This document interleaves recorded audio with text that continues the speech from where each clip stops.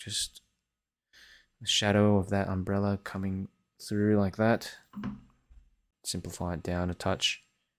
Um, of the figures as well. Probably haven't done these ones too well, the figures, but I can um, try to bring them back later with some gouache. And, you know, we've also got, not to forget, that these uh, little shrubs and stuff that we would, you know, that I was uh, putting in before. Why not just get in a few little more uh, things running through here? Okay. Good, good. So, yeah, like I was doing before, just kind of quick bits and pieces here for the seaweed um, and things in the in the ground.